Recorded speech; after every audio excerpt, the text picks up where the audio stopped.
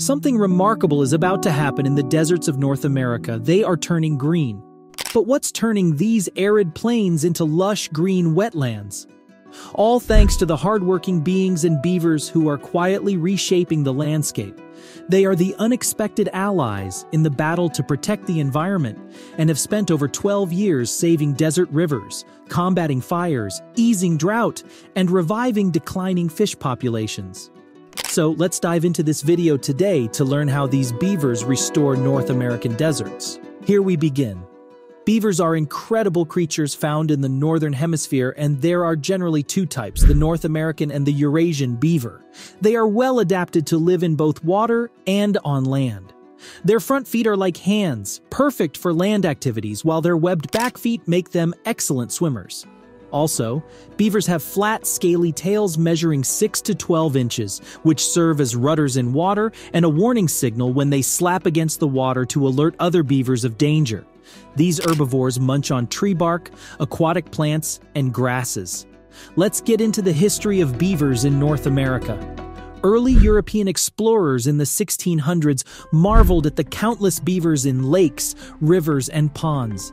These creatures were abundant, estimated at a staggering 100 million. Beaver dams and ponds were widespread, creating rich wetlands covering over 300,000 square miles in pre-Columbian America, about a tenth of the land.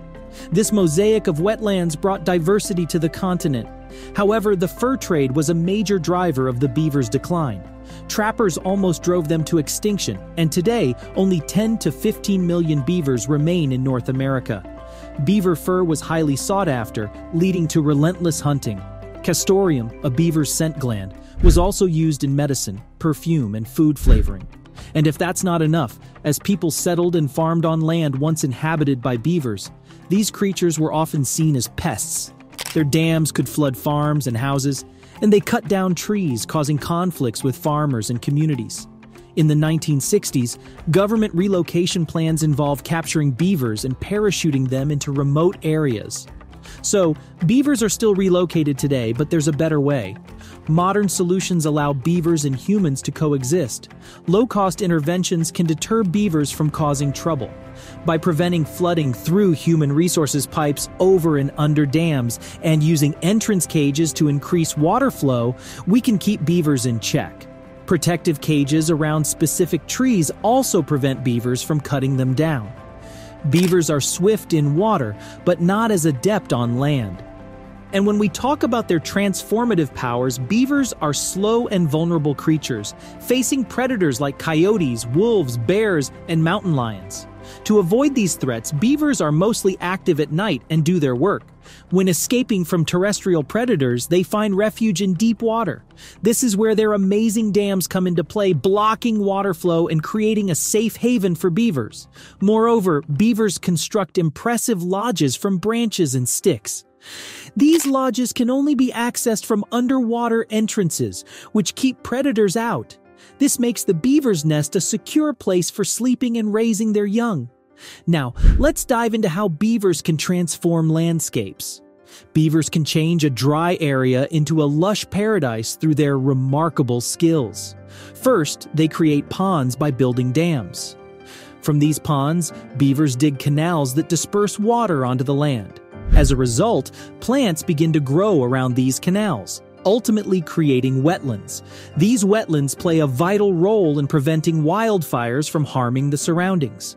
Further, when wildfires strike, the wetlands created by beavers remain unharmed.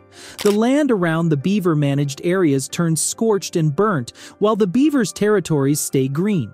Beavers are also clever in storing water in ponds, canals, and soil within their complexes, ensuring enough water to keep the plants thriving even during prolonged droughts. One of the astonishing examples of beavers' work is found in Oregon and Nevada. In the high deserts of Oregon, a remarkable transformation has occurred over the past 12 years. By reintroducing beavers, the land which was severely eroded and lifeless has turned into a thriving wetland. They created dams, dug canals, and transformed the riverbed from a fast-flowing erosive stream into a vibrant wetland full of ponds and canals that slow water flow and hold more water. In Nevada, simple changes in how cattle graze near Dixie Creek led to the natural return of beavers. Beavers' dams deepened the water and created floodplains, and even during severe droughts, the creek remains wet and surrounded by lush vegetation. The work of these beavers slowed down water flow, dropped sediment, built floodplains, and recharged the groundwater, transforming the once dry land into a wetland paradise. With these, we can surely say that beavers are the keystone species because of their vital role in ecosystem building. Where beavers aren't present, alternative methods can have similar effects. These incredible creatures surely can have a positive impact on the environment. So, what do you think of beavers' transformative power to restore wetlands in North American deserts? Comment below and subscribe for more.